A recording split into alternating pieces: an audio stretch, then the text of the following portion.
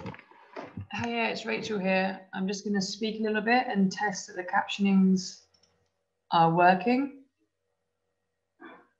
So if I just speak now. Okay. Hello. And we'll see. They might not. I think they should be working now.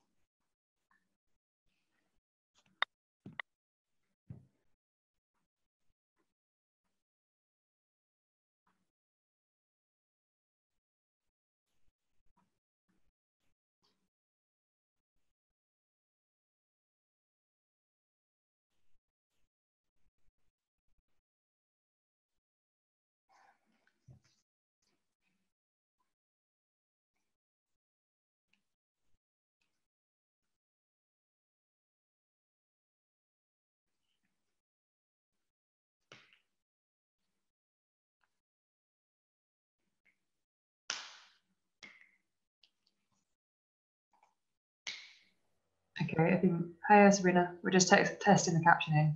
Yeah, perfect. Can speak now, can you hear me okay? Yes, absolutely. Can you hear me well as well?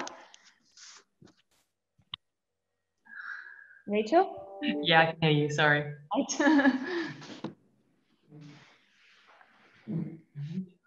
I think we have Tim connected as well. Yep. Yep. And then we have Mr. Angelov, Stanislav. Can you hear us well? Yes. Yes, hello, I'm here. Hello, great, good to see you. So we wait for uh, the other speakers to join the panel and um, uh, then we'll start. We will, uh, you will be let in, uh, let's say in the webinar uh, before the participants. And then all the participants will be allowed to, to access the webinar. Okay, sure. I saw Geraldine is still trying to connect with audio, by audio.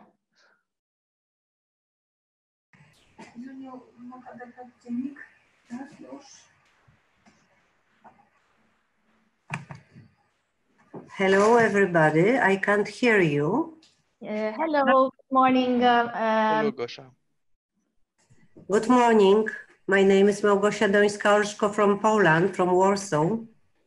Good morning. I apologize in advance if I will not be able to pronounce your name correctly, but Well, no, you can say Margaret Donska, and it's okay. Olszko. Olszko, Olszko is nice. Sounds good. All right. Thank you. Hi, Irene. Hello, how are you?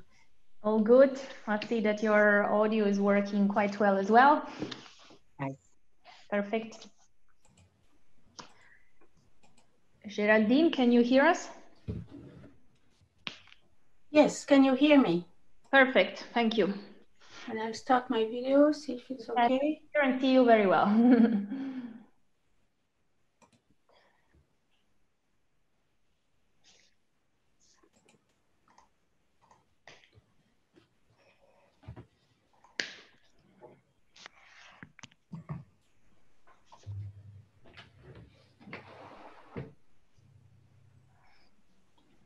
Still have few minutes.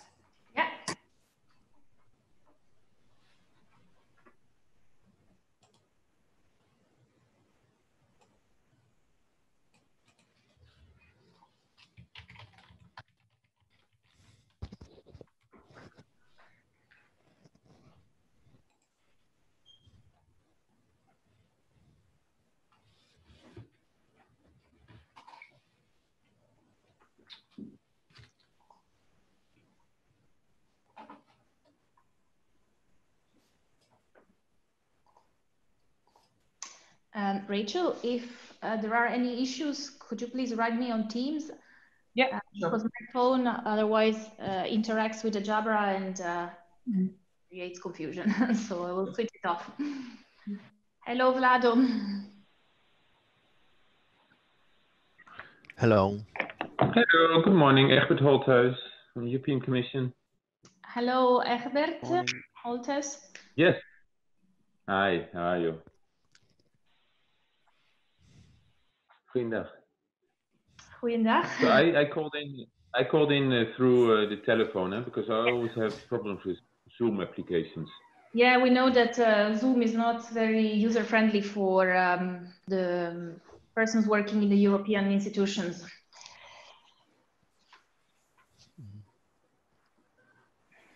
so in terms of the agenda, you will um, follow the um, documentation. So 1010, uh, you will have the, the, the service providers, uh, the individual ones, you give uh, the word, and then uh, the country desks will react, isn't it? Uh, yes, well, actually, I will uh, ask service providers to intervene. And for those for which there is a country desk representative in the European Commission, I will ask them to immediately give a reply or a feedback. In the case- In the case of, uh, sorry, someone has the microphone on. In the case of Croatia, unfortunately, the country representative could not join. So I will briefly refer to the key messages and uh, then maybe you can uh, intervene, uh, Egbert, Yeah. is that okay for you? Yes. Yep, Fine, fine. great. Okay. I saw that Reka also connected. Uh, yeah, there she is. Mirela is there from Albania. We are still missing, I think, the representative from Bulgaria and from Finland.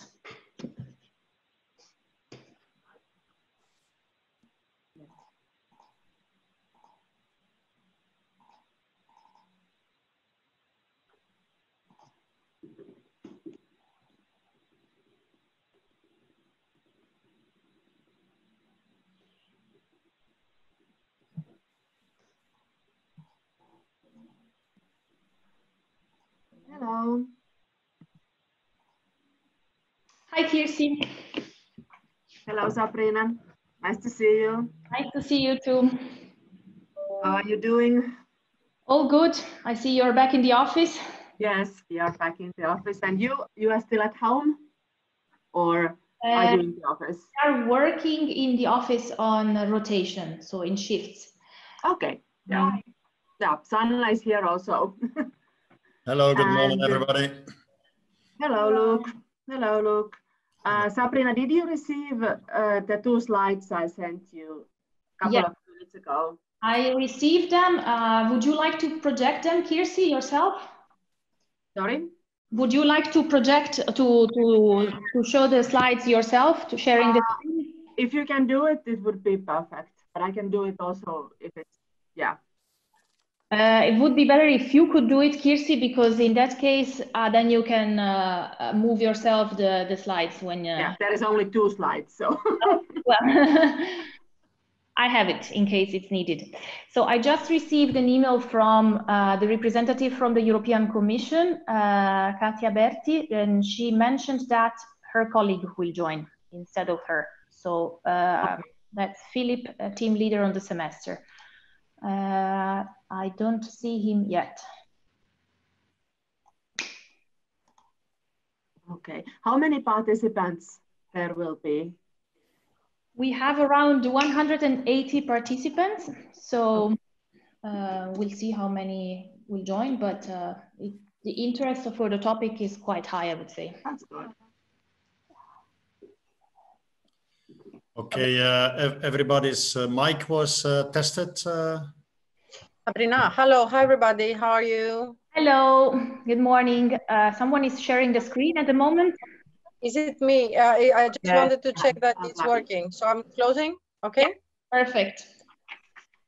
Rachel, was everybody's microphone checked and tested? Not yet. Not yet, not today. We did it yesterday in the um, in the practice session. Mm-hmm. So Vlado from Slovakia, do you hear me? Yep. Yes, we can. well. Okay. Perfect. Morning, I'm Reka from Your Child. Gerardine, can we check your microphone, please? Yes, it works, I think. Perfect. Thank you.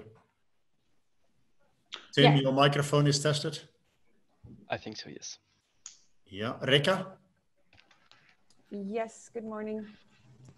A bit weak. Okay, better? Yeah, much better.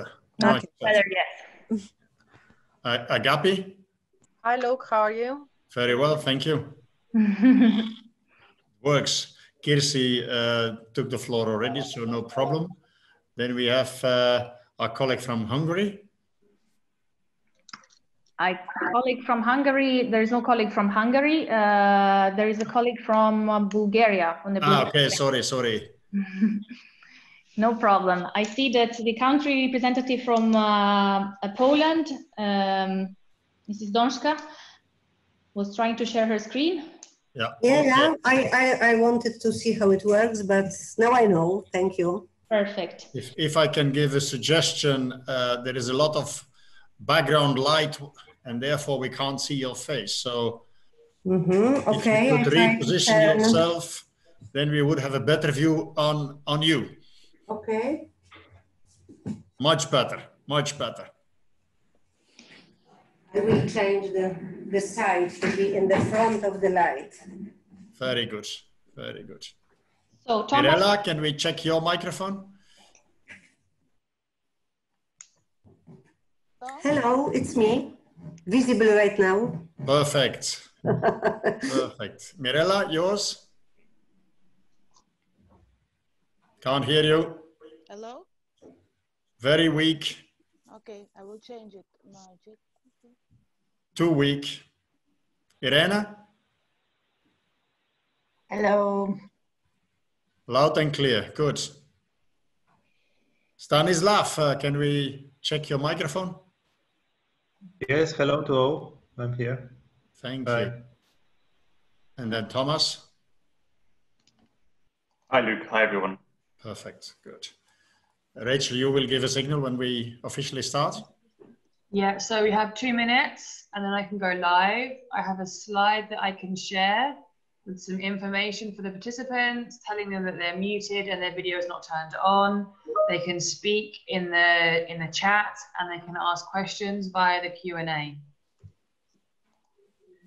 So We wait uh, two minutes, uh, Rachel, before officially starting so that people can come in the room. Yeah, so I will um, I will share the PowerPoint slides, um, and then when you start speaking, I will take that down so that people can see your your face. But I give people a few minutes, huh? Or are people in the room already now? Uh, I can't see until I go live. Okay. Okay, then we wait until 10, 2 or 10, 3, yeah? Yeah, Yeah. I will. I'll tell you in one moment when we go live. Good. Um,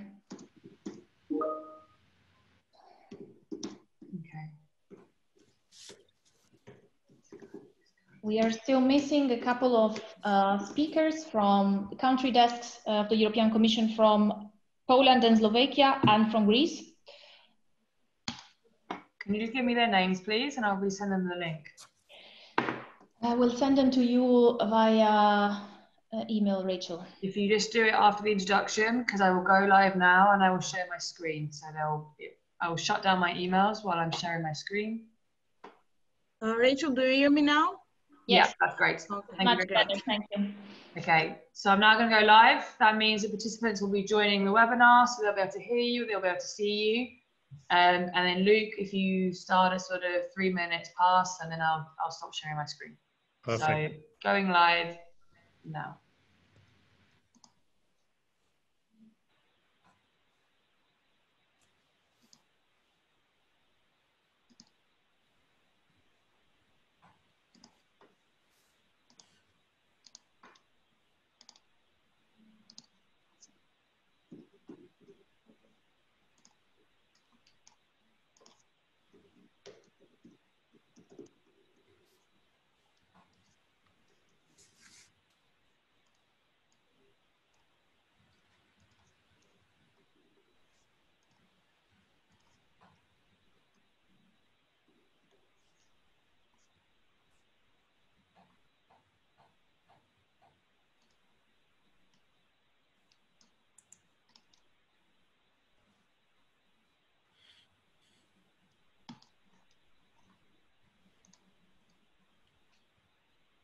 We start in uh, about one to two minutes. So please make, make it yourself comfortable. We start officially in two minutes from now.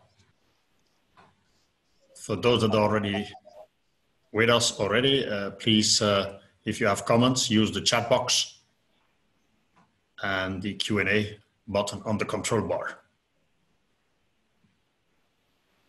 And if you want to have subtitles in English, you can activate these by clicking on the close captioning button, also on the control bar. We'll record this webinar and make it available afterwards.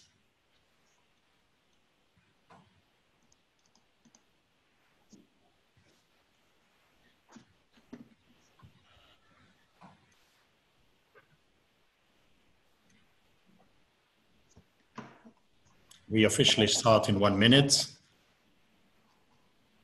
Welcome to those that already joined us.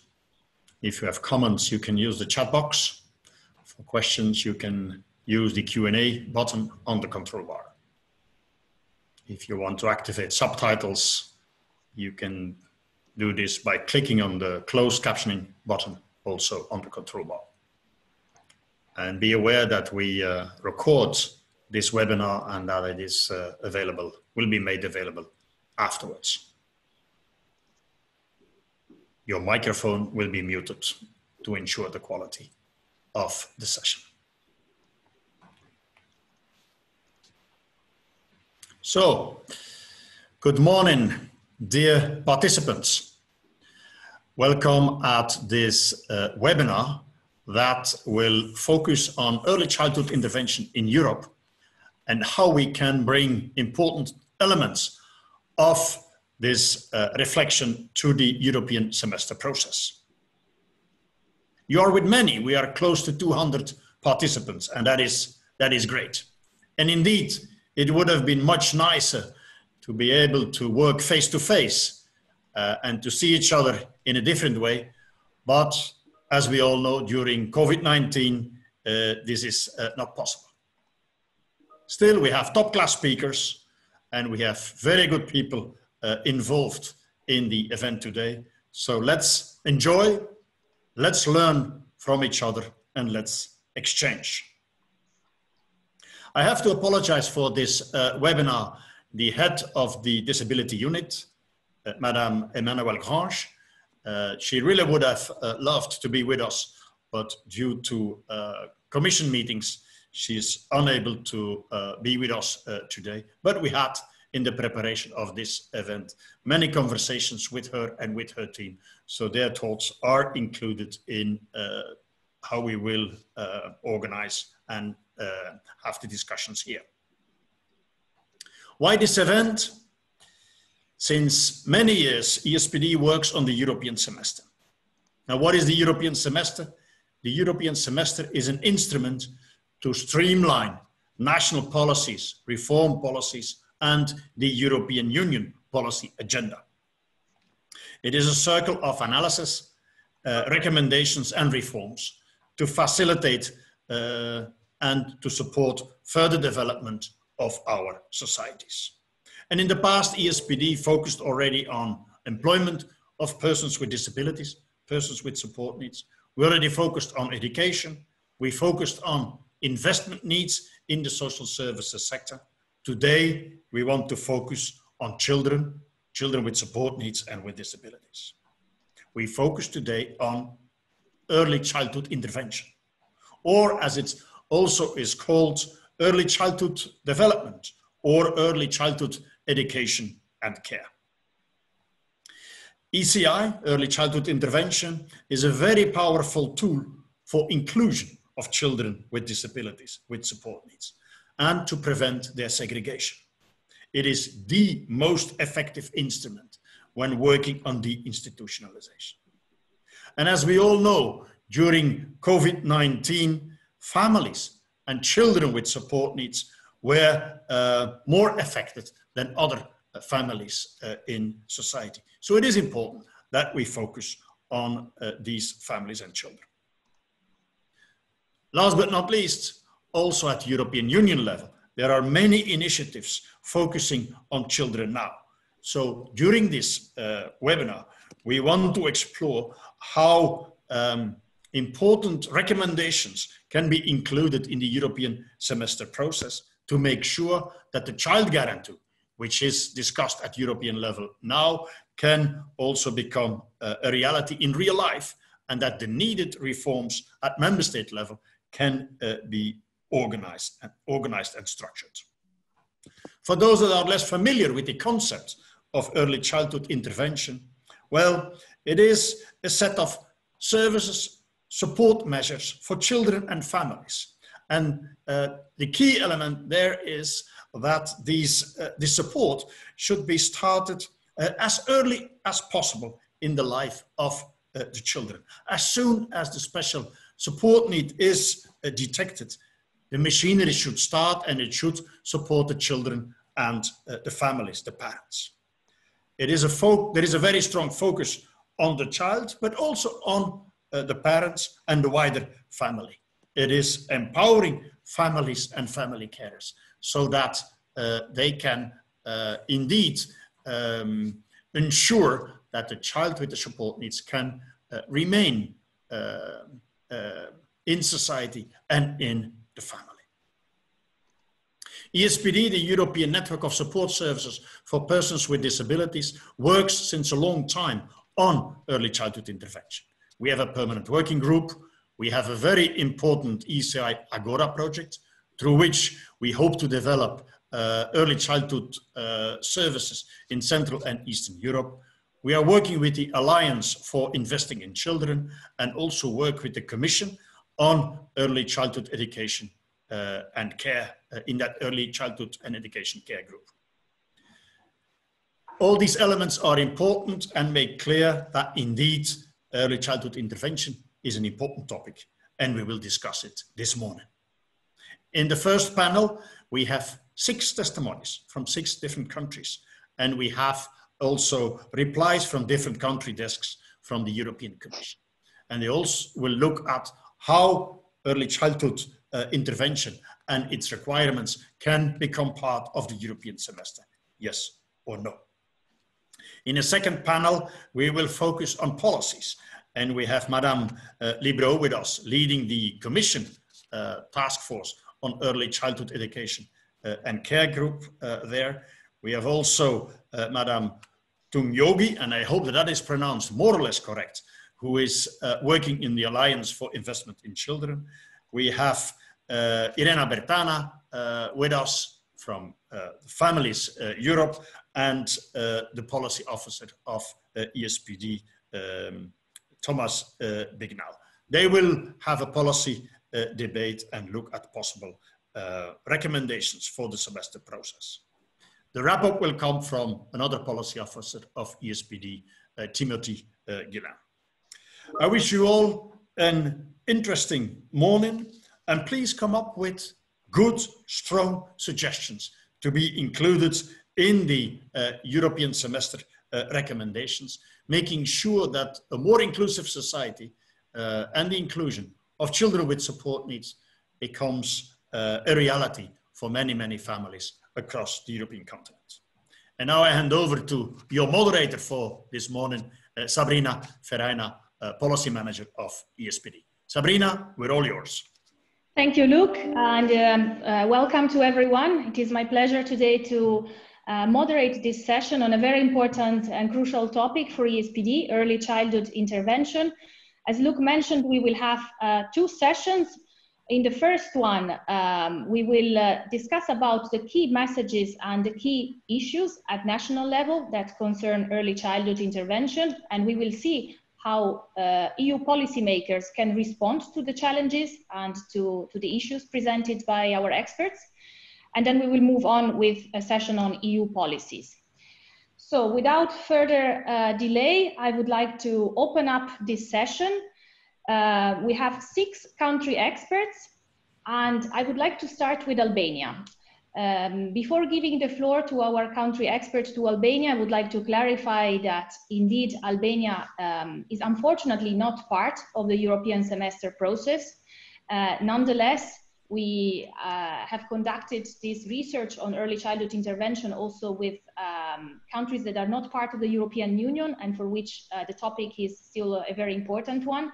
So we are still looking forward also to hear what are the main messages from uh, Albania.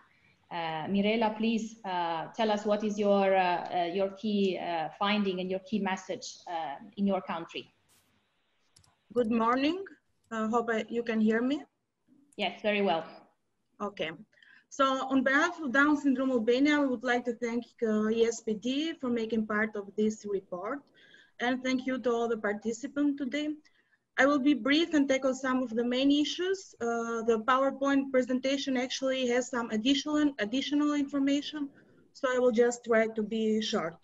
Albania has ratified the UN, UNCRPD in 2012. The government started to implement and created new laws, uh, which has been in accordance with the um, convention. But in practice, we have a lot of challenges. Uh, we don't have official data the main problem because um, so we don't have a, a, real number on how many children receive ECI. We don't have this number because uh, uh, there is a lot of problem. There is, um, sorry. so I will start again. Um, in a UNICEF report in 2017, this is the latest data we have, only 8% of the children with disability in Albania receive social services. So it's a social services, it means all types of social services.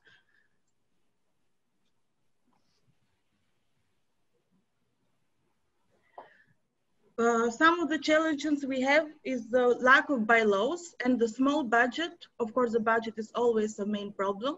The small budget allocated for social services. We have uh, very limited numbers of uh, ECIs and also the most of them are largely uh, managed by NGO sector, by the private sector. We also have, we don't have costing or standards or a model, so we can understand these uh, ECIs by whom are provided, is the staff qualified, etc. We also have lack of awareness and we have a failing uh, refer referral system. So to be short and uh, come back to the focus of the webinar, we are not a member of EU yet, but uh, we just want to say um, we would like to request so the EU have to prioritize the uh, funds for social, for direct social services. A good practice is the latest uh, call of IPA on social services. is very uh, good practice. And uh, we would like to help um, EU help in increasing the accountability of um, citizens to their state. And as I said, to prioritize the um, social services in their policy making, in the funds and etc. Thank you, that's all from us. Okay, thank you, Mirela. Um, if you can please uh, stop sharing Yes. the screen. And, uh, do it. Perfect. So uh, no real data and uh, important message for the EU, prioritize funds for social services. Um, I take the opportunity to inform you that this presentation uh, will be shared afterwards, will be available on the EASPD website, and uh, all the messages that are shared today are also included in uh, our uh, report, which will be launched as well after the webinar. So I will give the floor immediately to Bulgaria. Um, we have a representative from Karin Dom, uh, Mrs. Magdalena Tsoneva. Uh, Magdalena, can you hear us? And your microphone is muted, so.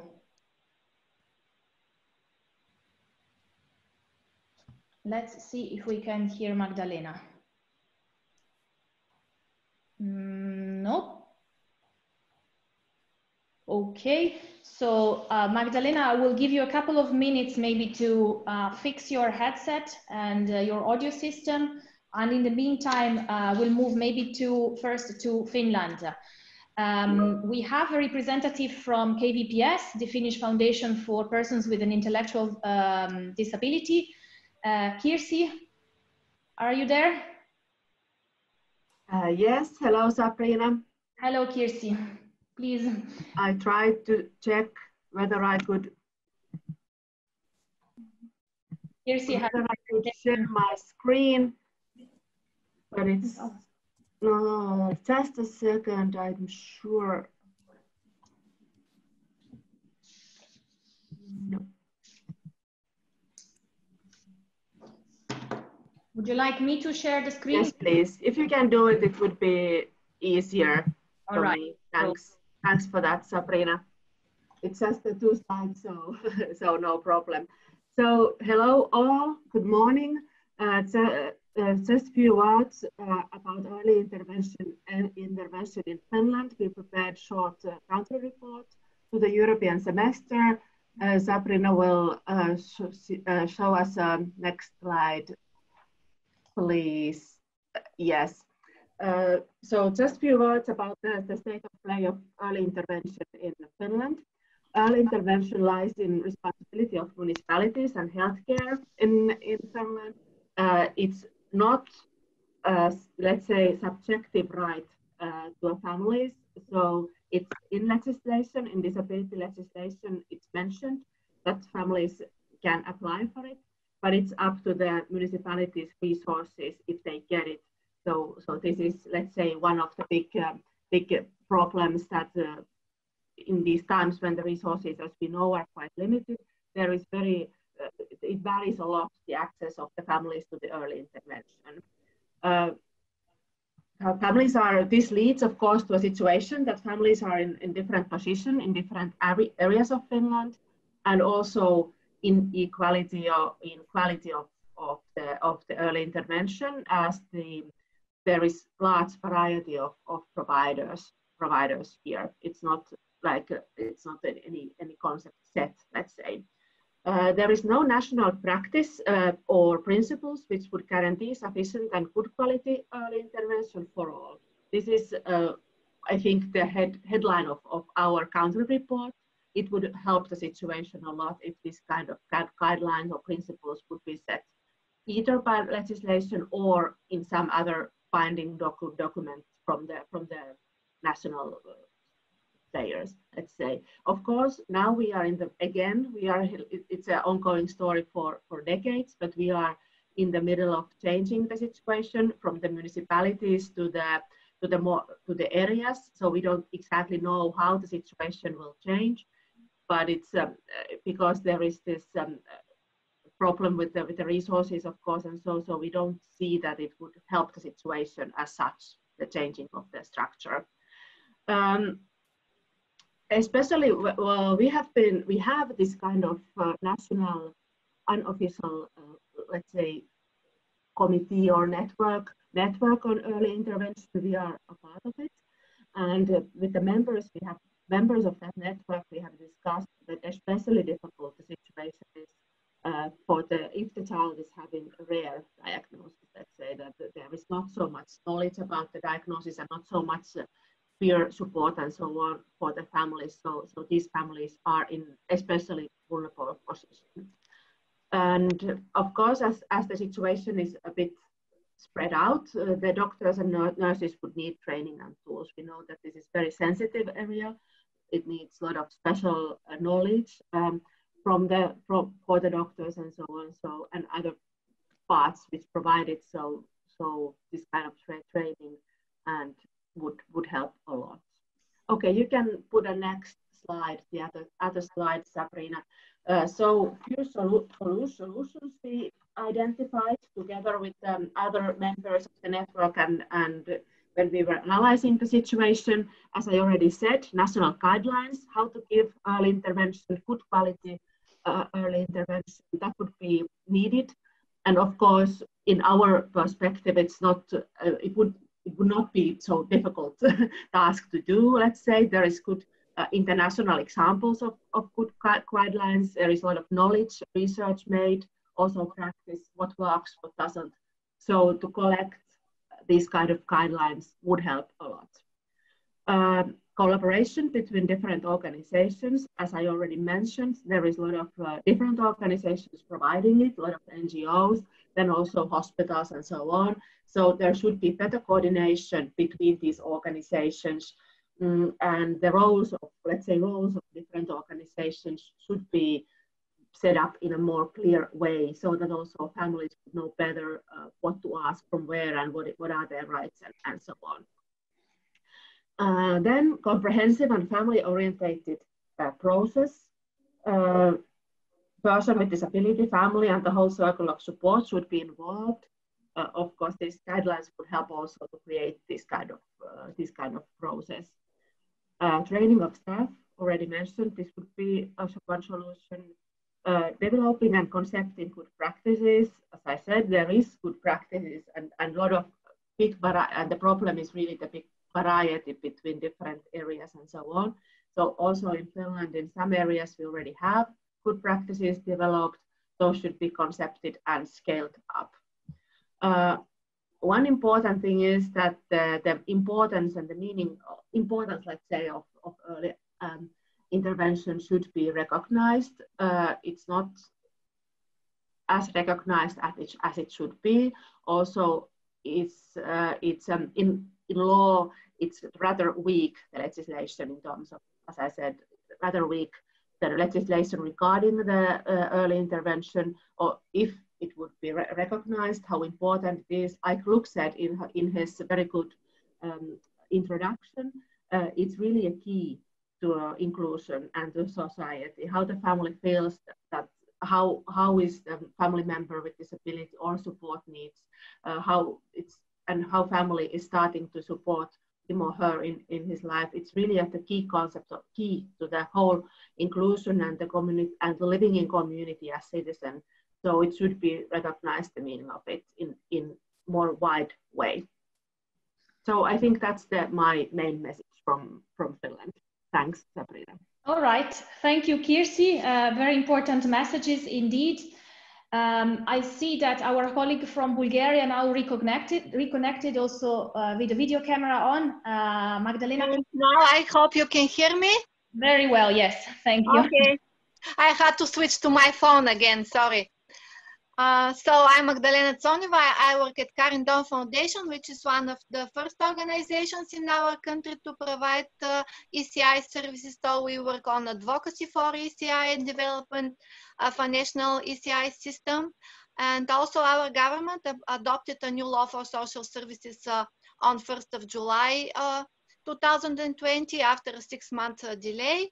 uh, now a regulation for the implementation of the law of social services uh, have to be drafted. Uh, the law provides the development of a national map for social services, which will analyze the service needs of individual communities and services need to be planned and based and also funded based on the demand and the real needs of the communities. Um, so it is important to include early intervention service on the, uh, in the national map on social services so that uh, services are affordable and accessible uh, throughout the country and all children and families who need them can uh, have uh, services. Although uh, our social ministry takes the lead in the provision of ECI services, all the three sectors, social, health and educational, they have their role and it is important that they cooperate and uh, their uh, roles and commitments are uh, clearly defined uh, in uh, this process so that we have a mm, comprehensive uh, national ECI system. Also, the regulation needs to ensure smooth and clear process of identification and referral to ECI services for children who are not only with disabilities, but also children with developmental delays and children at risk um, because uh, early uh, early start is really important. So uh, and we don't uh, miss children uh, and we uh, don't let children left behind. And we start really early. Also, we need unified methodology because currently the ECI services have different quality in different provision, different standards for their provision. so we need unified methodology, uh, methodology which is based on good practices of family-centered care and uh, um, working in natural environments as, uh, as much as possible. Uh, there is a need for EC services quality standards that will ensure uh, high quality across uh, all service providers throughout the country and also adequate and sufficient financial standard for those services so that the workforce um, is uh, well trained, uh, qualified, and uh, and retaining services. Uh, and uh, uh, and many NGOs in our country, which are involved in ECI services, have joined their forces in the direction of advocacy, and we make efforts to work together with the government to build a national ECI system. This is from me. Thank you. Okay, uh, thank you, Magdalena. Uh, important developments happening in Bulgaria. Uh, we have a representative from the European Commission from the Bulgarian country desk. Uh, Mrs. Rangelov, would you like to uh, give your inputs on, uh, on the messages that were just shared? Yes, hello Sabrina. indeed, I'm working in the desk of Bulgaria, Romania in European Commission DG Employment. And basically, we generally agree with the support uh, provided by NGOs to the Ministry of uh, Social Affairs to develop, first of all, the law of social services, which was uh, for us uh, a really important milestone, generalizing the uh, individual assessment and also delivering specialized services to people that before were not necessarily included in the list of uh, delivery. And uh, also for us, much more important is to ensure the motivation of service providers to stay uh, in the delivery of services. This is basically important for children because uh, we know that uh, if children are not sufficiently motivated by the staff taking part in the delivery of the service, we have uh, then some motivational programs also within families. And uh, the third approach that for us is extremely important, and I support the representative that talked just before, is really this kind of family approach towards the delivery of the early childhood intervention. Uh, in Bulgaria, we can say today that the, the, institutionalization process for children is advancing. It's not yet finalized, but still important steps were done during the last years. What is now really important is to have consolidation of the new model because all reforms are extremely fragile and we need to ensure that especially for children and children from zero to three, the reforms are consolidated and the delivery of new or integrated childcare services is quite important.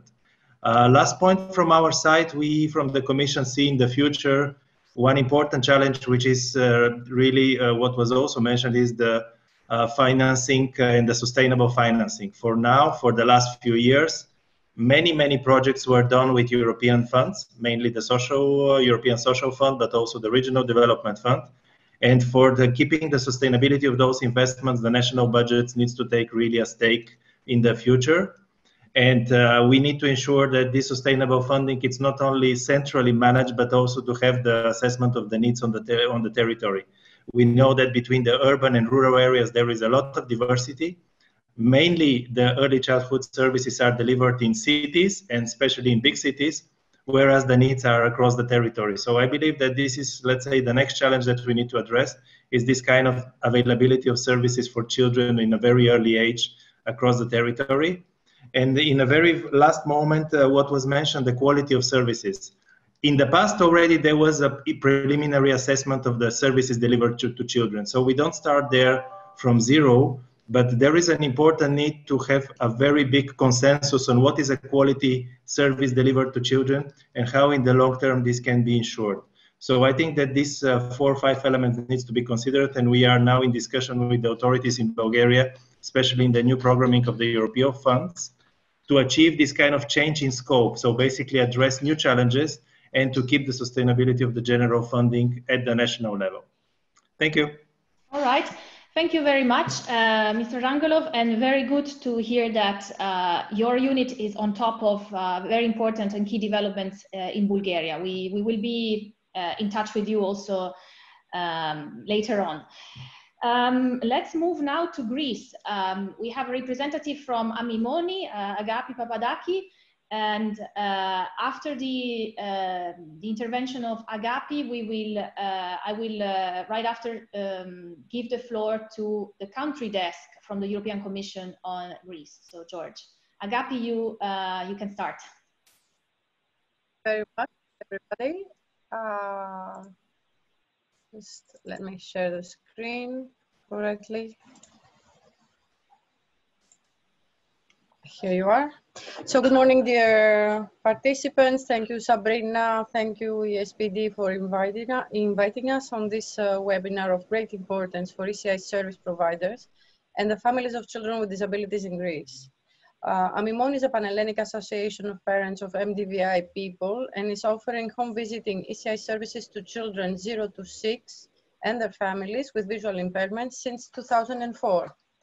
So although ECI services exist today in Greece, the families with children with disabilities and the service providers are facing important challenges related to the lack of specific uh, regulating legislative framework. Uh, this leads to unsupported and unprotected vulnerable population, mainly children with disabilities under three and their families, and the lack of systematic financial support affecting seriously the sustainability of services, sorry, uh, mainly based on private, who are mainly uh, based on private funding and uh, donors. And of course, the provision of services by, and, and of course, the, the other uh, challenge that we face is that the provision of services is mainly offered by private institutions and NGO who are not centrally regulated, thus implementing diverse processes and qualitative standards. Families are therefore exposed to segmented provision of services and the developmental opportunity of zero to three years is often lost. Uh, Luke has uh, highlighted the importance of this uh, very important part. part. Uh, there is also a lack of clear mapping of the services available and not fam all families in need are um, catered on time. Uh, we, uh, we very briefly highlighting the main issues to be tackled um, by the authorities in Greece, we would suggest to develop uh, and specify the national ECI monitoring and implementation framework towards a more family-centered, holistic, interdisciplinary, and individualized approach for children with disabilities. Uh, it is proven that home visiting programs are also very important in this uh, field and very um, effective. To adopt common quality standards and procedures, ensuring transparency and control, and safe and safe provision of services for the parent for the families and provide certified education for ECI professionals. And last but not least, ensure sustainable funding for ECI services. Uh, EU may work as a catalyst uh, in this effort. Through its mechanism, networking and know-how transfer may be facilitated. developing of a platform of structured dialogue, ensuring involvement of all stakeholders, including families, service providers, experts, and policymakers. And of course, specified targeted financial instruments for assisting the development and implementation of ECI national framework. I would like here to, not, to, to highlight that very often ECI services are confused uh, with e, e, uh, early education uh, services, which is a broader uh, umbrella of uh, social uh, care and which is very important to distinguish and really um, focus and target. So uh, Amimoni, of course, is available to anyone who would like to to assist uh, every effort towards uh, scaling up of the existing uh, good practices that we provide since 15 years, more than 15 years now. And uh, we would like to thank you very much for this. Uh, and congratulations for this, um, for this webinar. Thank you very much. Thank you, Agapi. Uh, can I ask you to stop sharing the screen? Yes. Great, so we can see everyone again. Uh, I will give immediately the floor to um, the representative from the country desk of the European Commission, uh, country desk from Greece, Mr. Uh, George uh, Kirmizidis. Uh, apologies for the pronunciation. Please. Was quite accurate. Thank you.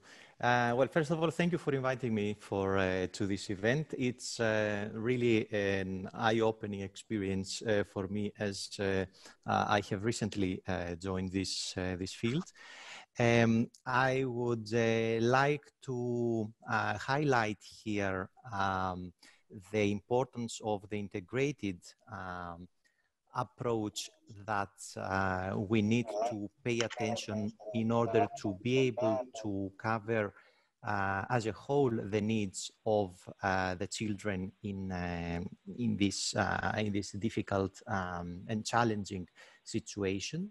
And uh, as my colleague said from the Bulgarian desk earlier on, the same in Greece, there has been a number of reforms taking place in Greece following the recent, uh, well, protracted, I would call it rather, um, financial crisis that triggered a number of reforms at a national level with the assistance of the European Union and in particular with uh, a number of new developments uh, being supported by the European Social Fund.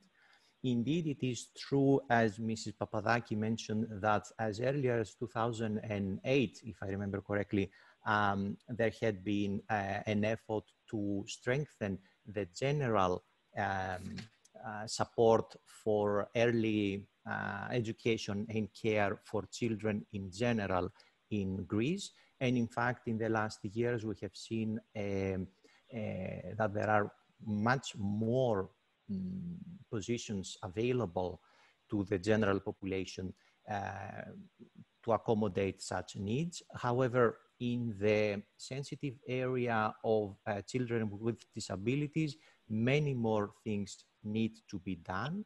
And uh, there are definitely unmet needs that um, uh, we are looking closer into. There is in general a reform regarding the disability um, as a whole. And in there, we could see how we can further uh, address the specific needs of the target group we are talking about, so children zero to three. And um, uh, also with regards to the fragmentation of the service providers that was mentioned earlier on, um, we can um, mention here that there has been an overall development of the community centers in uh, Greece. So this is like a, a one-stop shop at a community level that can uh, utilize um, registries of the service providers at a local level. Either they are coming from the public sector or private organizations. And uh, this is ongoing work that can further that can further be um, streamlined and improved.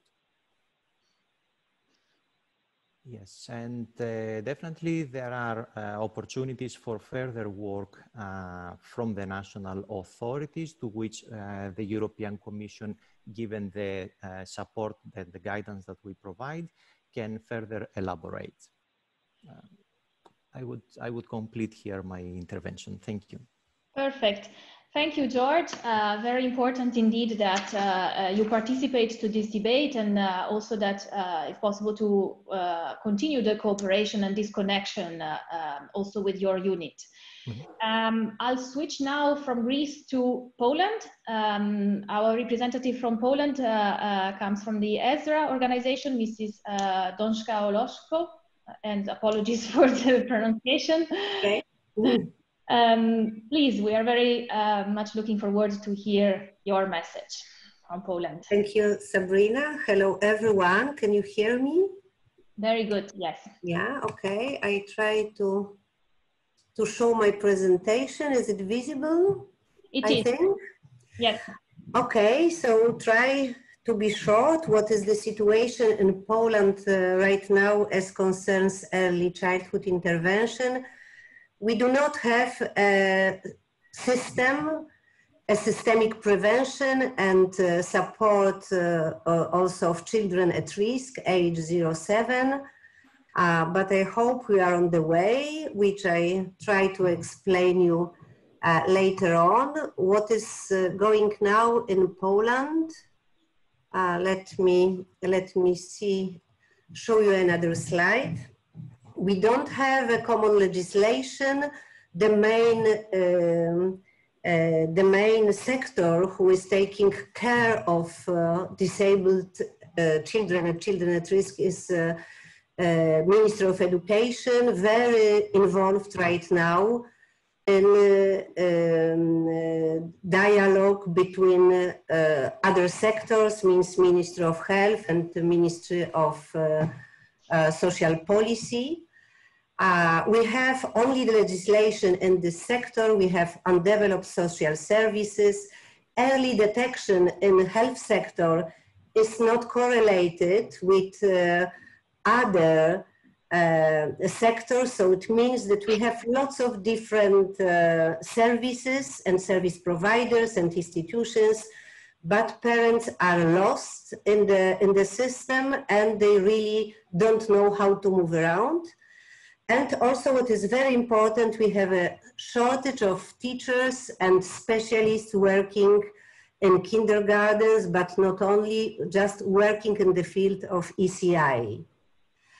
Uh, so, but uh, I would like to say that the Agora project, which I was, uh, or I am still a coordinator in our country of this project,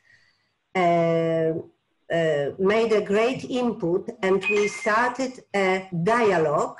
Very soon, if you see, uh, as you see on the slide, we will have the international conference uh, building a cross-sectoral uh, coalition really for early child development and family support. Uh, and uh, with the representative, with all the politicians and dissidents um, who who have any um, any influence for the uh, for the systemic solutions and also with the presentation and participation of the member of European Commission.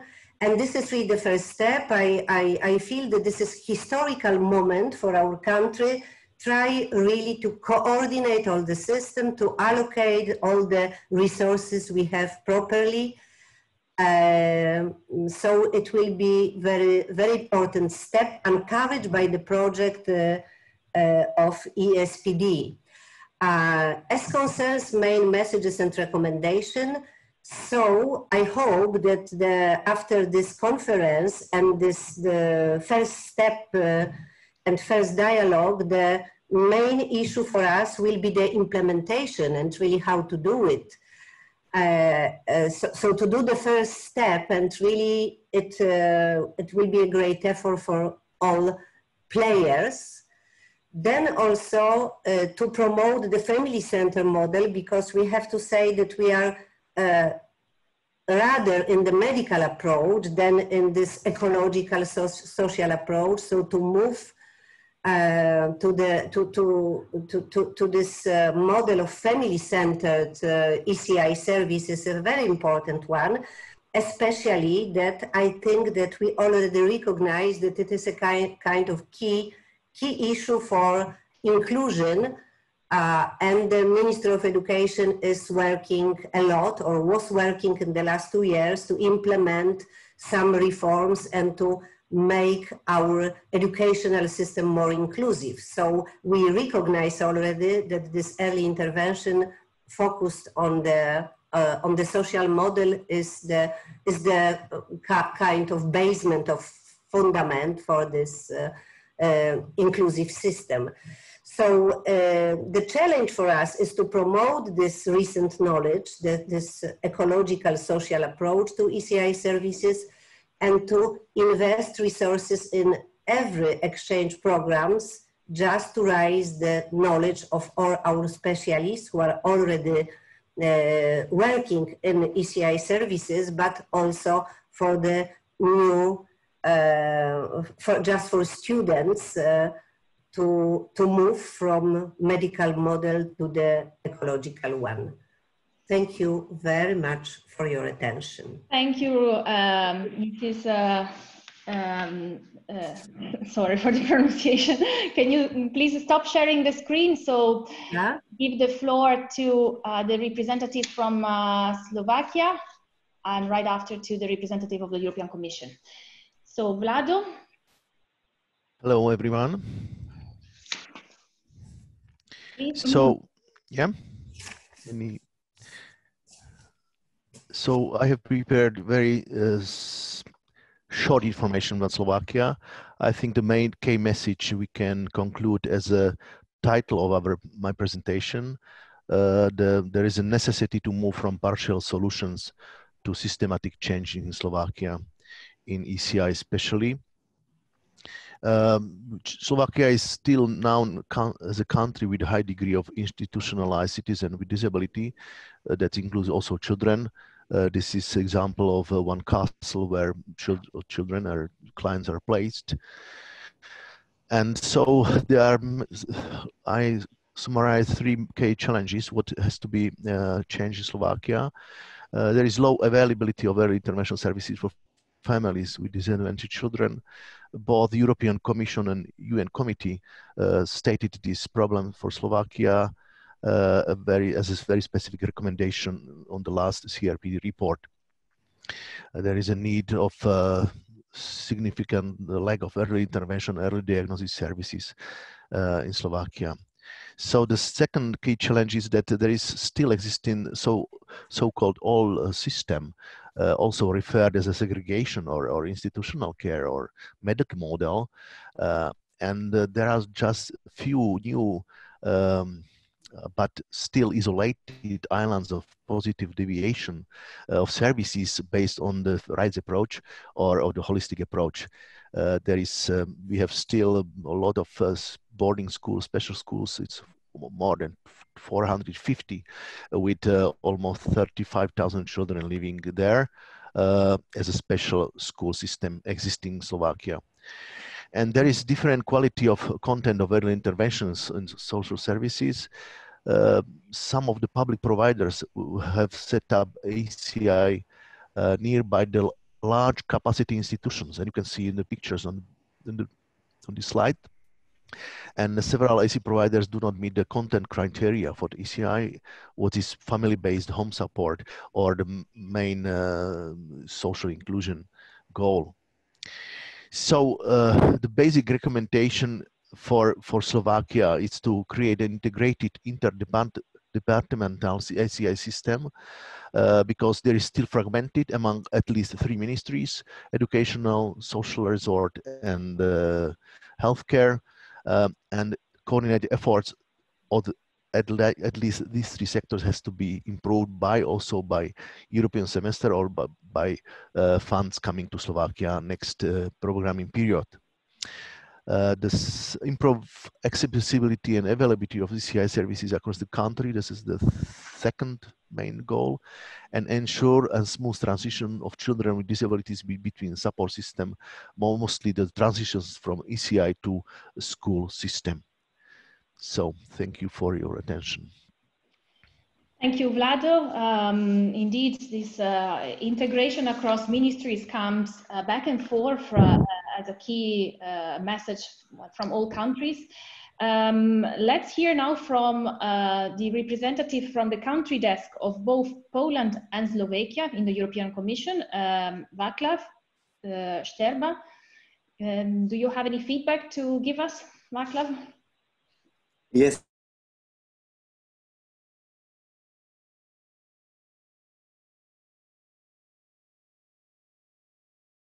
Yes, indeed, and uh, bringing uh, the experts together. I think it's a very valuable input uh, for our analytical work. And indeed, uh, my name is Václav uh, uh, Sterba. I represent today the unit um, in DG Employment, which, which deals with Czech Republic, Poland, and Slovakia. Um, when I say Czech Republic, Poland, and Slovakia, I, I proceed by alphabetical order by saying Czech Republic first. It's, there's nothing to do with me being Czech. Uh, uh, and today, indeed, uh, uh, I'm here to contribute with what we do as expertise on, on Slovakia and, and Poland. I'll start with, with Slovakia first. I've, my, I've taken my notes first on Slovakia. Indeed, we have already addressed the, the, the issue in the country report in the very same way as, as Mr. Mr. Matej just mentioned it. And that's also because in our country report, we actually base ourselves uh, ourselves on the analysis um, of the Association of Providers of Early Intervention in, in Slovakia. So, um, so basically the, the compliment goes, goes back to, back to you, Mr. Matej, and uh, appreciation for, uh, for all the work and, and data gathering that you've done. Uh, uh, um, um, I mean, th th there is uh, there is a number of touches uh, to this issue. There is the general lack of, of services and general lack of, of, of coverage of, of all the uh, of, of, the children who would need support. Uh, in Slovakia, there is also a specific aspect uh, linked to this, which links to, to, the, to the Roma children, um, uh, where in fact there is now hanging in the air an infringement process against Slovakia which links to discrimination of Roma pupils in education. Because in the nutshell, uh, a large majority of Roma pupils, when they start the primary school, they are immediately labeled as, uh, as mental disabled and put in the special school. Now, the process which, which uh, leads to this uh, is, is, is questionable, and that's what the infringement is about. But even if we accept that a certain uh, amount of the, of, the, of the children uh, who are seven, seven years old are, um, are recognized as, as mentally disabled or lightly mentally disabled, then the question comes, what has happened with these children in the age, you know, between zero and seven? And what's been the intervention there? And uh, I think unless there are credible answers from Slovak authorities or credible commitment from Slovak authorities to, uh, uh, to deal with this, um, we won't be able to close the infringement process. So that's, that's I think, one important element in, uh, that fits in the story. I think you rightly pointed out the, the fragmentation between the, the three various ministries. from from what from our knowledge of the ground, I would also maybe add fragmentation between the different levels of governance, where the competence is with municipalities and also the potential to create uh, this sort of service could also be with the regional level. But uh, at the end of the day, municipalities don't have the budgets to do it. And uh, uh, there is basically no link between the municipal plans of social services with the national strategy of social services. So there is a broader governance issue that's not just horizontal between the various ministries, but also between the levels of governance, national, uh, local and regional. And uh, so the question now is, what can we do about that? uh, apart from writing it uh, about it in the country report. Uh, I personally see, see, see two, um, uh, two battlefields where we can take this forward. Uh, one is in the context of preparing the, the next programming period for the EU funds. the countries have to fulfill the so-called enabling conditions. So basically set of basic governance rules that are observed in the country so that the EU funds can start flowing. And uh, there is also uh, enabling condition requiring strategic policy framework on health. And part of this uh, enabling condition is a requirement that there is uh, a thorough mapping of health and long-term care needs in the country. And also there, there is a framework for measures. And uh, uh, in the Slovak Geodesk, we take this very seriously and consider uh, not, uh, I mean, both also uh, mental health care, but also uh, the early child intervention as, as a thing that needs to be addressed through enabling condition. So we will seek reassurance by Slovak authorities that they have a strategic policy framework that first maps the needs and second, there's a system of, of addressing the needs. And uh, only then, once, once we are convinced, we can tick off this enabling condition as, as, as fulfilled. And second, uh, there is now uh, a lot of talk about uh, possible reforms under the uh, Recovery and uh, Resilient Fund that has been proposed recently by the Commission. Um, and in Slovakia, I think we are in the direction of, of, of reforming the delivery of social services including through reform of, uh, of municipal governance, allowing uh, municipalities to cluster so they can, they can, they can deliver services uh, where a small municipality of 500 citizens, of course, cannot establish a new social service like urgent intervention. If there are 20 municipalities that cluster and establish the service for, for the area of those 20 municipalities, that could work out. And uh, we very much want to work hard in this direction with the Slovak government uh, to bring about this sort of this sort of reform. Um, if, if you have, uh, Mr. Matej, any observations on, on, on, on these governance aspects, would uh, uh, be welcome either in the meeting or in, in, in the follow-up uh, uh, to this. And as regards Poland, I also very much appreciate the, the input by the expert. And uh, I think what's, what, what, what you did very well was to differentiate between the, the childcare facilities and, and childcare services, because these are two different ball games. And in the European Commission, sometimes we tend to, to, to narrow the scope of, of the problem to existence of childcare facilities. And we have all those targets and European averages that we want to meet and, uh, and so on. But um, so we just look at, at the possibility for parents to put kindred children in formal care so they can go to work. And okay, from the labor market point of view, this is a valid point, but the world is more, much broader than that. And um, uh, I think you clearly recognize this in the analysis that we need to look at, at the issue of childcare services uh, being provided in general, whether uh, uh to parents uh, or stay-at-home parents with their children, uh, or to kindergarten nurses, uh, kindergarten nurses and teachers, so that also they are able to detect possible disabilities and, and deal with them as of as of early age.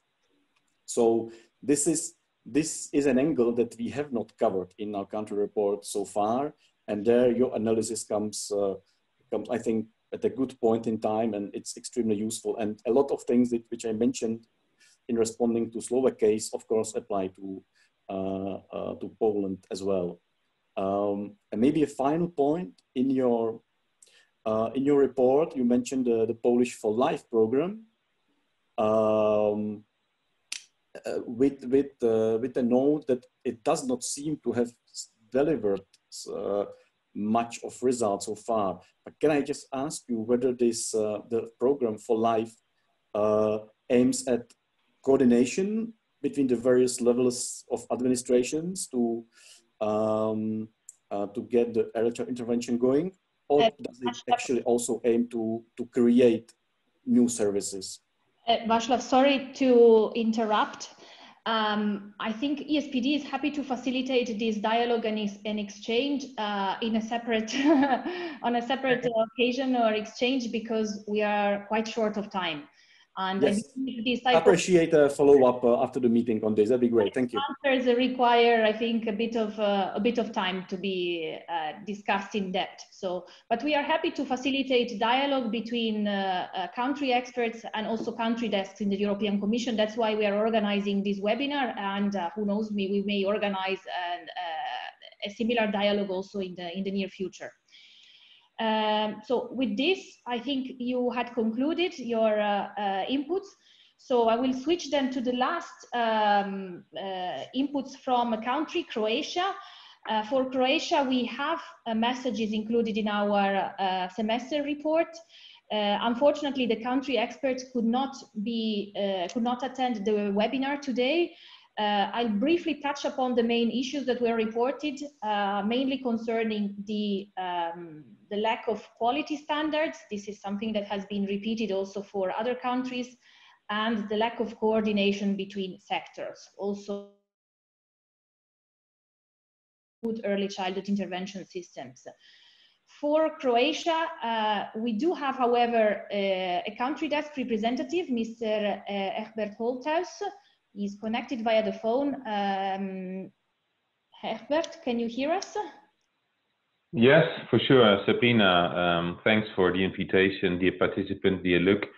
Very briefly, I think that the information you already provided in, in writing um, is uh, based on our country report on the on our assessment, a very clear description of the challenges, and uh, you also see that uh, we've reflected uh, the, the need to uh, discuss uh, social benefits, improve capacity, reduce poverty, look at long-term care services in Croatia has a central place in, in our assessment.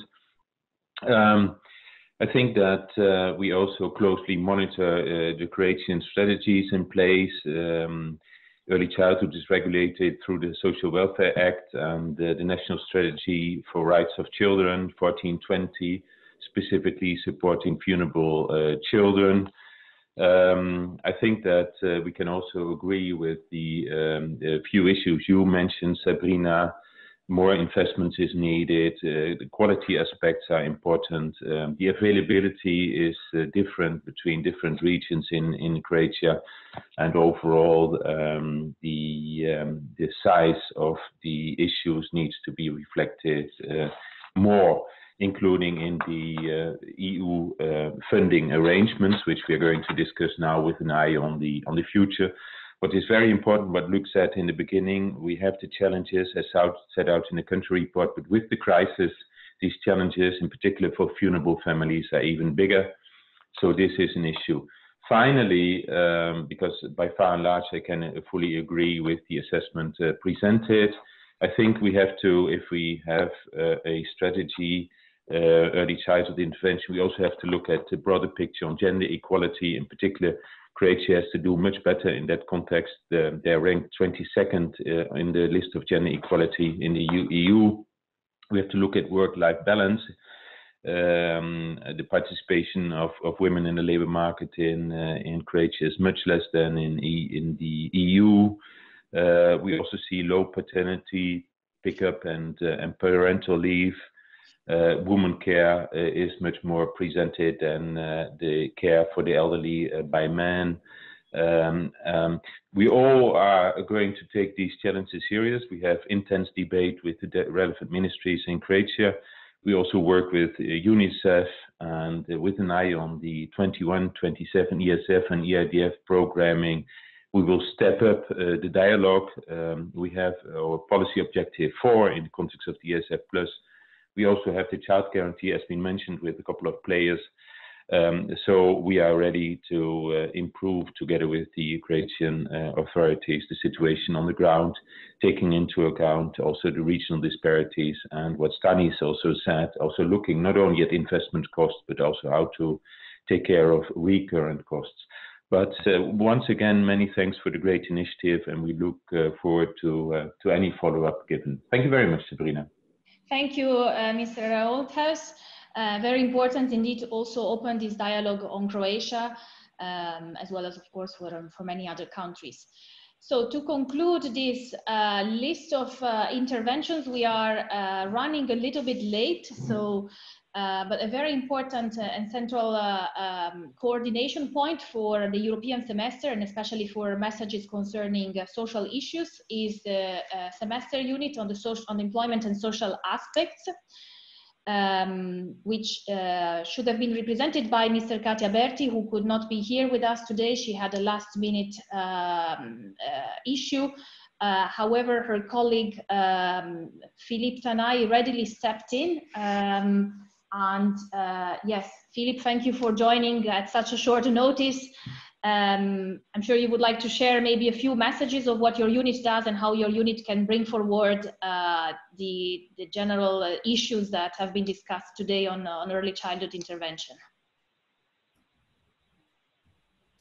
Indeed. Uh, thank you so much, Sabrina, and thank you so much to all of the panelists that have had uh, their interventions. Indeed, I uh, I have to say I think it, this kind of exchange that's very direct, where we get the feedback from the country experts on the ground and uh, discussing with the uh, geographical desks working here on the semester is is is a model to be followed. So.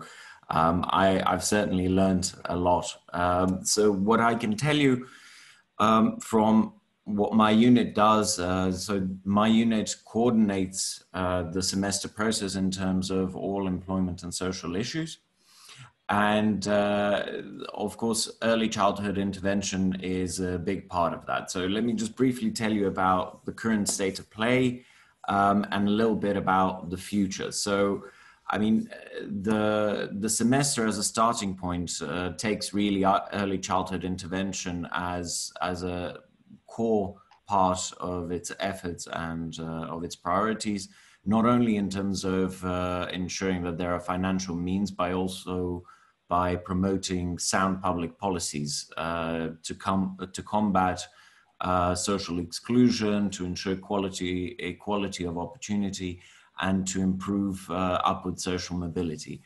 I think I don't even need to tell you uh, that that early childhood intervention is already visible from um, Article 3 of the Treaty of the EU, uh, that it's part of the principles of the European Pillar of Social Rights, um, as is the, the more uh, specific disability pers uh, perspective, which is included in four or five uh, principles of the pillar. Now, in uh, 2018 and 2019, uh, in the European semester cycle, we had already a lot of country specific recommendations that were relevant to the issues we're discussing today on topics such as uh, early childhood education and care, family income support, financial disincentives to accept paid work for single and second earners. So here's the gender perspective that uh, Egbert was also mentioning and uh, on inclusive education and access to healthcare. And uh, in particular, we had more than half of EU member states uh, receiving either a recommendation on access to early childhood education on care or having a direct reference in the recitals to it. Now, you might have noticed that I mentioned the 2018 2019 cycle, which is the one of uh, the previous year. Uh, but uh, the one that happened this year with the 2020 recommendations uh, was slightly uh, different in nature, and I think is also important to mention because it's mixed with the COVID 19 challenge that we all find ourselves in. And uh, there, a lot more focus was placed on the immediate impact of the pandemic uh, in particular on CSRs that are relevant for children and their well-being. And here we saw, for example, uh, the uh, addition of a new topic such as uh, replacement of traditional classes with with distance learning, which required a good internet connection and adequate equipment. Um, so we had CSRs on this distance learning because uh, this uh, provision we found to be problematic in several member states. And um, we had it hence mentioned in four recommendations, in particular to uh, the Czech Republic, Spain, Italy, and Romania, while we had securing equal access to education um, in seven other member states uh, mentioned. So in, in the CSRs. So we have a kind of also broader perspective to keep in mind. So the strengthening of social safety nets was again a big topic. Um, and uh, while there were no uh, CSRs explicitly mentioning children with disabilities, we had uh, quite a few references to disadvantaged groups, uh, which were widespread in legal texts, and we're referring also back uh, to both the country report and uh, last year's recommendations. Um, so there, that covered a broad um, aspects of uh, education as well as access to healthcare and social services. Um, so just to mention a little bit about what the future holds, um, I'm sure you've heard of it. Um, there's there's the Child Guarantee Initiative, uh, which will happen in 2021, which will represent really a further step ahead with regard to the uh, to EU's commitment towards children and in particular vulnerable children um, both in terms of their well-being and their future. We have the Recovery and Resilience Facility that uh, is coming up with a lot of funds um, that will be embedded in the new cycle of the European semester and hence also uh, linked with uh, promoting investments and reforms that will make member states' economies more resilient and prepared, uh, better prepared for the future of which, of course, early childhood intervention is a big part. And uh, that's that's uh, I think the the main picture that I would like to paint in terms of where where we are and where we're heading. Um, so to come back to your question on how the EU and European semester can support member states in developing their early childhood education, um, uh, interventions, both legally and financially, I think I think this is it. Um, so not only through um, legal uh, initiatives such as the child guarantee and having also funding available, additional funding as well as the MFF, like uh, additional funding such as the Recovery and Resilience Facility, but also I think through uh, continuing the analysis of the uh, member state policies through exchanges such as this one and um, through actually including the most relevant facts um, and holding them to light and uh, making sure that things move forward. So I'm really, I'm really happy to see that this discussion was very also um, fact based. I, I noted the eight, only 8% of children in, uh, with disabilities that receive uh, social service support in Albania. I, I note uh, also the differences in terms of segmentation in Greece um, and lack of certification and quality standards. I mean, I think all of those things are really key, and I think you, uh, the participants here, are also very, uh, very much key to ensure that we identify the right reforms and we push uh, for the right reforms uh, to also be implemented and funded. Thank you, Philip. Uh, important to know also that uh, we can count on your units to further uh, um, work on the topic, uh, which is a crucial one for EASPD. with your intervention, we close the session here with the country experts.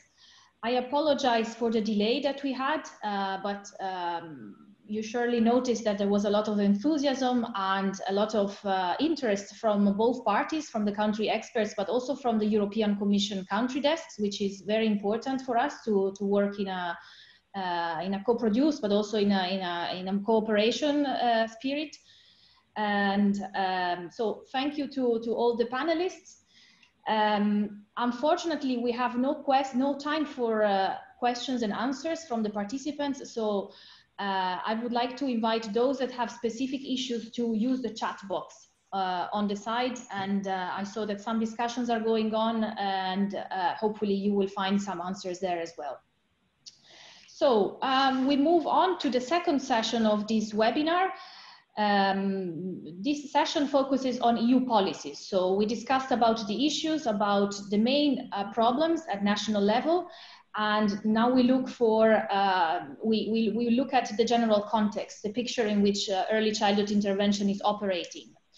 We will start with uh, another very important uh, stakeholder for EASPD that's uh, the Early Childhood in, uh, Education and Care U uh, group in Europe, a group that is coordinated by, chaired by Géraldine Libreau from the Early Childhood Education and Care unit in the European Commission. Géraldine, we look forward to hear a bit also what your group can do to facilitate early childhood intervention and thanks for joining um, the, the panel. Good morning. Yes, uh, indeed, I coordinate this uh, this fantastic working group. Uh, I'm in DG Education and Culture, and we look specifically at the uh, care and education part of early childhood intervention. So this group includes uh, national representatives from 33 European countries and also eight European NGOs who bring their expertise, and one of them is EASPD. So the, the goal of the group is to reflect how to implement concretely the 2019 Council recommendation, which was adapt, adopted uh, on the topic of high quality early childhood education and care systems. And we started working almost two years ago. Now we're, uh, we, we are coming to the end of our work. And in November, we will be publishing, amongst other things, a toolkit for inclusion in early childhood education and care, which I will also call ECEC. So the, the work of the group is based on the recommendation, which I just mentioned. And this recommendation says, and I quote, participation in ECEC can be an effective instrument for achieving educational equity for children in disadvantaged situations, including those children with additional needs arising from disabilities. So this is really our starting point. Uh, the purpose of this inclusion toolkit that we will uh, publish is to provide ideas and examples to policymakers to improve the organization of the system in general at national level, but also at local, regional level, and also to staff in the creche and in the kindergartens to adopt more inclusive practices and attitudes. The whole idea is to make sure that uh, all the children, regardless of their individual situations or family situations, have access to quality early childhood education and care. And for us, the word quality is essential.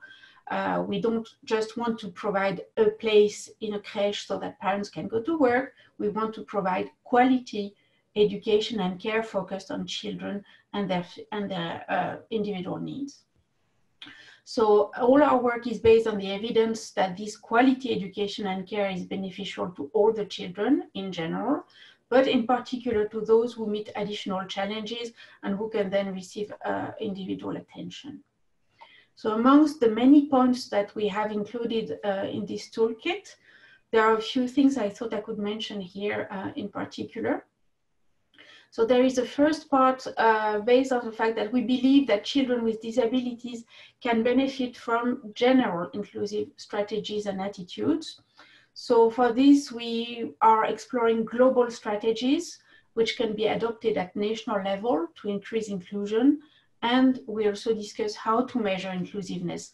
And as it has been mentioned before, there is a big lack of data and it is extremely difficult to measure inclusiveness. So we're trying to pinpoint the, the problem, the challenge, and possibly identify some solutions.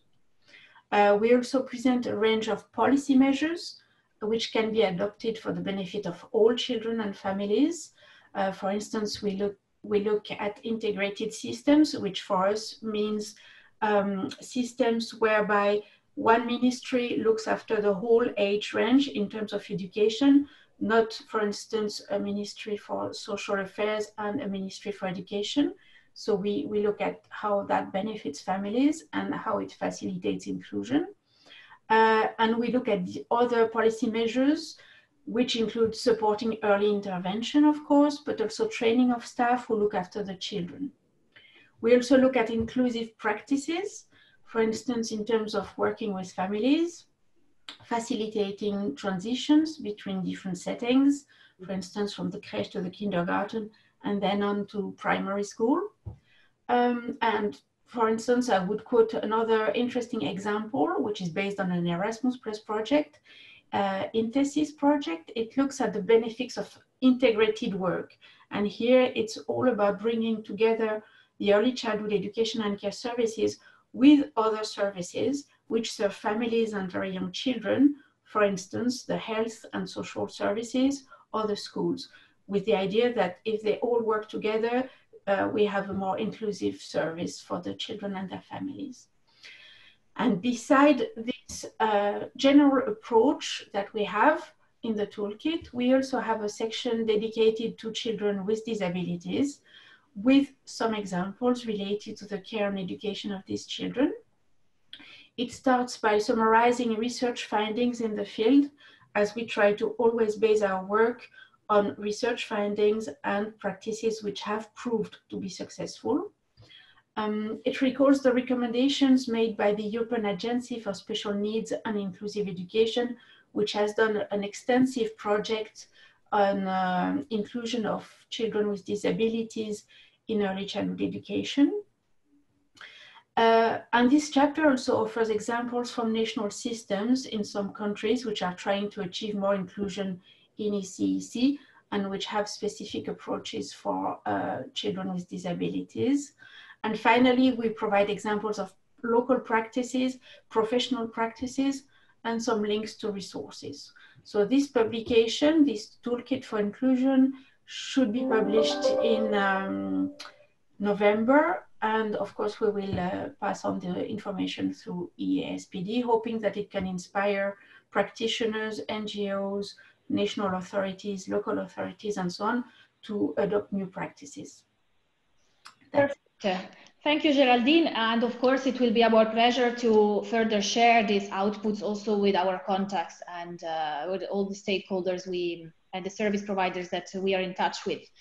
Um, I quickly move to uh, um, another important uh, ally of EASPD, that's the, um, the Alliance for Investing in Children, another um, coalition of which EASPD is part.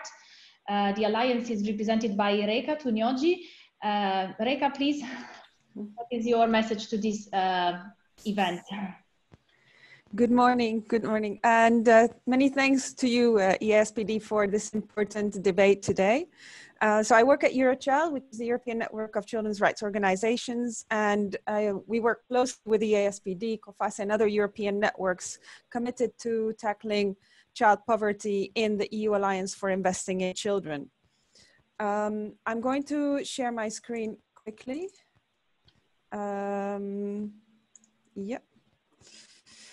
So uh, just to say that the topic is very relevant for Eurochild's work as well, and then I'll speak about the key recommendations that we have as the EU Alliance, because we also work on the semester and on early childhood, um, and that we're in the process of setting up an international campaign on early childhood development together with the International Step by Step Association, Public Health Alliance, and the Roma Education Fund. Um, and so indeed we talk about ECD, uh, early childhood development, inspired by um, the nurturing care framework developed and promoted by the uh, World Health Organization, UNICEF, and the World Bank, uh, which is uh, addressing five important components around good health, adequate nutrition, responsive caregiving, early learning, and security and safety.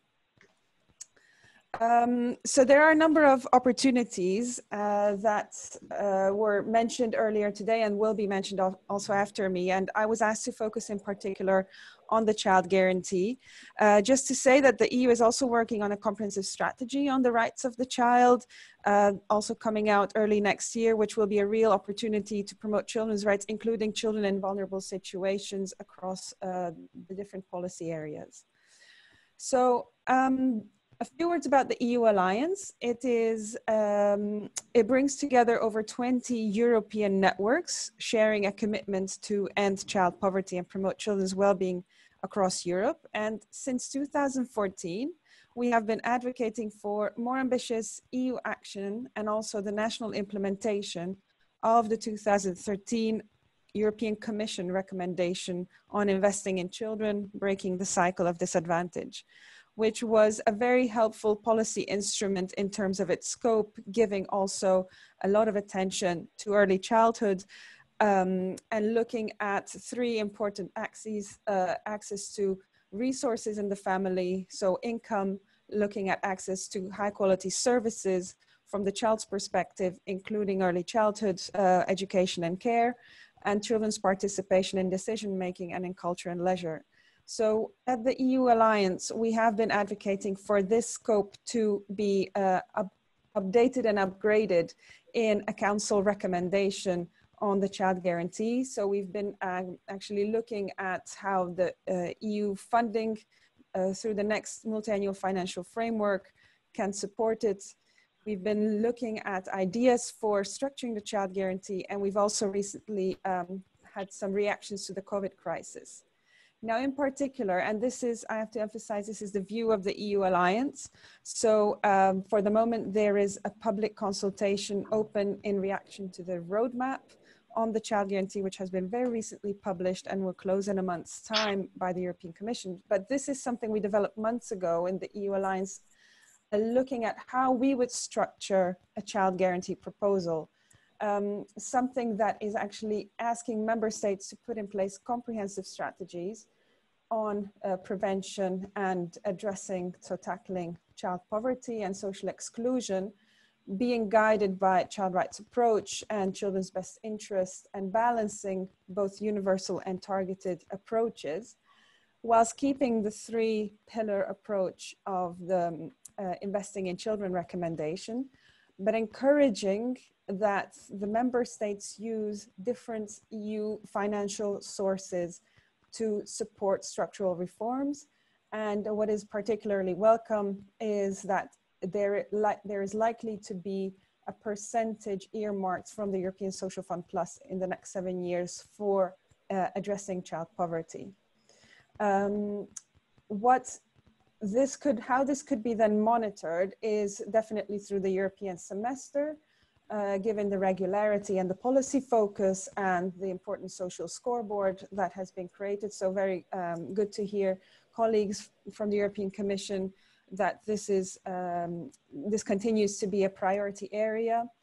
Uh, the pillar of social rights, uh, which is definitely a hook as the principle linking child poverty and early childhood, principle 11, is a very important entry point and that will remain relevant but also looking at how the sustainable development goals for the next 10 years uh, can be used also in the European Union context to ensure that there are targets set, that there's commitment at EU and at national level for um, tackling child poverty and for investing in children across the board and paying particular attention to children in need. So I will just close there and thank you very much for having us here. Thank you, Reka, and uh, um, thank you also for the work of the group, uh, which is indeed key to uh, ensure that uh, the, the rights of children and uh, the support services uh, required for children and their families are well taken in, on board in EU policies. Um, a very interesting debate that has been developed, I think now in the, I saw now in the, in the chat, concerns um, the role of families. And we are lucky to have here a representative from the organization uh, Families Europe. So Irene, um, how do you see the role of families? How should families be involved in the development of early childhood intervention services? Hello, hello Sabrina. Thanks uh, for this question and for organizing this uh, webinar. Um, yes, I represent COFACE Families Europe, which is a partner of EASPD and also of the Alliance of Investing in Children. And now coming to your question, well, uh, involving parents in ECI requires a combination of community-based, child-centered, and family-friendly approaches. Parents and family carers are the first teachers of their children, so the purpose of early intervention should be to enhance the capacity of the family to facilitate their child development. Professionals should strengthen families by helping them secure needed support and resources while providing individualized and flexible help. Parents should be equal partners in ECI and at the heart of the discussion in the decision making about their child in the development and implementation of the ECI plans. And then the plan must include procedures to address also the family needs, close to the child needs. So the parents should be enabled to play the role with a two-generation approach that takes into account that parents may need socioeconomic help to take care of their children. with a multidisciplinary and holistic approach. Then each family is different, so it's imperative to consider uh, the ECI services to, with respect to the diverse family backgrounds. So to promote the parents' involvement, practitioners need to respect, recognize, and respond to the diversity of the family needs and interests. Identifying family needs, values, beliefs, interests, concerns, and resources might help to establish a shared understanding between the practitioners and the parents. And then the assessment instrument should be responsive to the child's linguistic and cultural background. Then last, proximity is key. So sh support should be available as close as possible to families, both at local and community levels. Services should be decentralized to facilitate better knowledge of the family's social environment and ensure the same quality of services despite geographical differences. And coming to just some very small and practical tips, uh, it is important to make useful resources available to parents with extensive, clear, and precise information. Then provide training to parents, both online and in person, is important to help them understand or manage their child-specific needs or special education needs. Then another point is ask for feedback. as to parents whether the information being shared is useful and how it can be improved, both in terms of content and format. And then frequent communication and also allowing the, par the for parent the time to process, hear, feel, and think and respond. It's a key component, and this should be done through different channels. It can be in person, to printed materials, and online. And then last but not least, encourage the peer networking among the parents is very important, and also positive relationship with the community. Thanks a lot. Thank you, Irene. Uh, very valuable contribution. And uh, of course, we uh, will make sure that we'll strengthen the cooperation also with your network uh, to embed and incorporate the views of families in, uh, in all our uh, outputs related to early childhood intervention. So to conclude this panel, um, we thought it was important or we could not miss, let's say, the discussion about the next EU budget. Um, a lot is going on. And as at EASPD, we are uh, doing extensive work in analyzing the frameworks, uh, the funding streams, and uh, working uh, with the relevant stakeholders in the EU institutions. Uh, now, my colleague Thomas is uh, the person in the office that um, has, has, has been monitoring the, the EU budget post 2020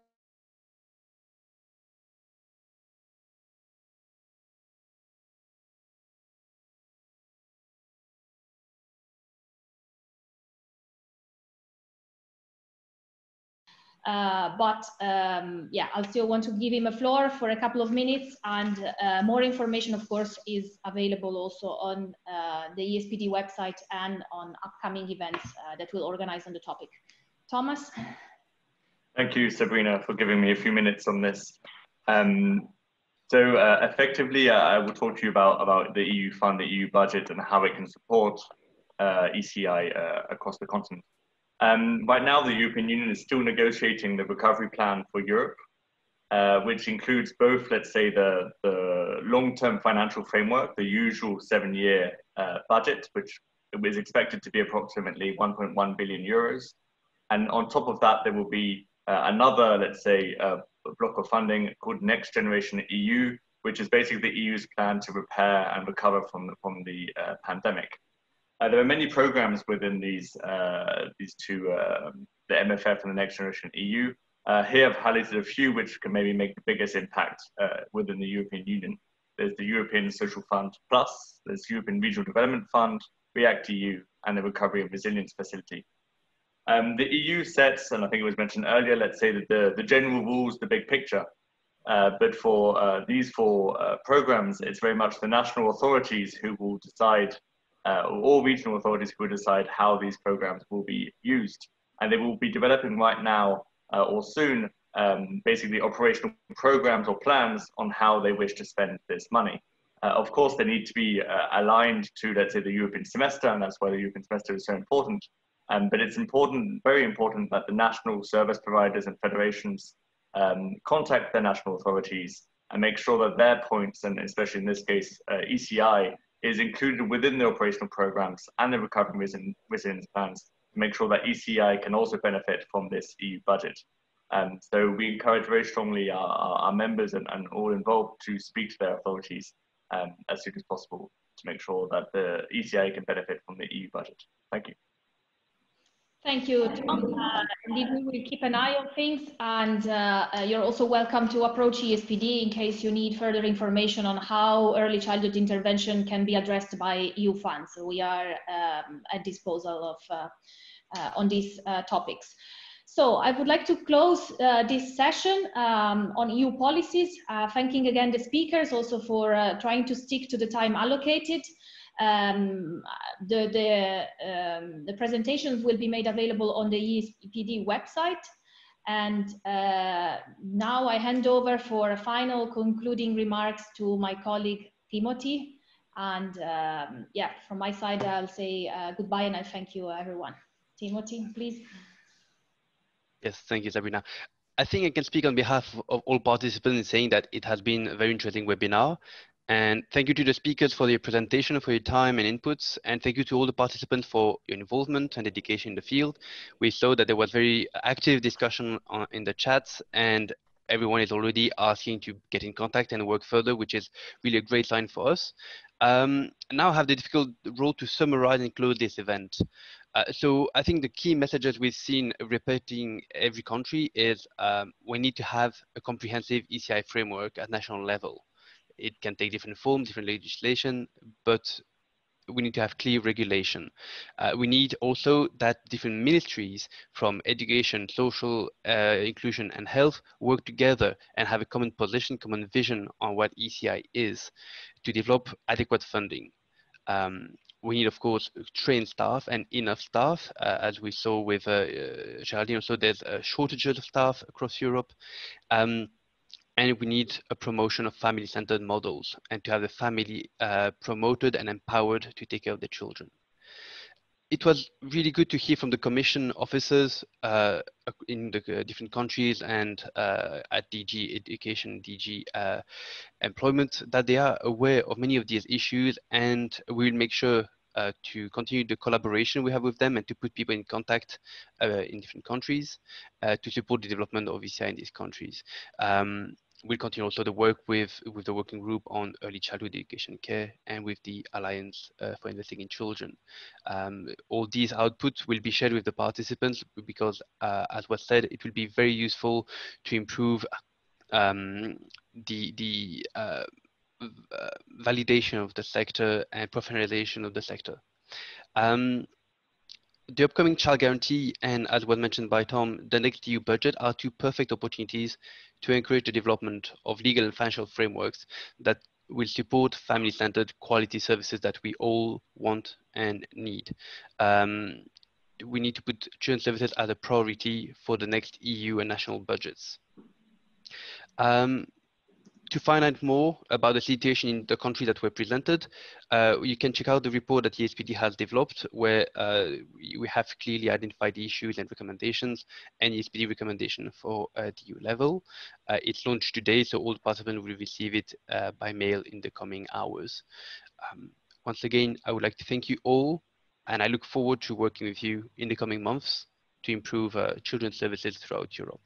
Have a great day, and keep in touch. Thank you. Bye bye, everyone.